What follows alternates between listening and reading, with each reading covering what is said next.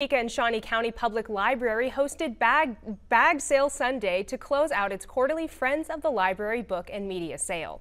For three hours, anyone could come by and fill up a paper bag with as many books as they can for just $10. Families and residents chose books in various genres while others picked out DVDs and CDs. All the money raised went to the Friends of the Library organization.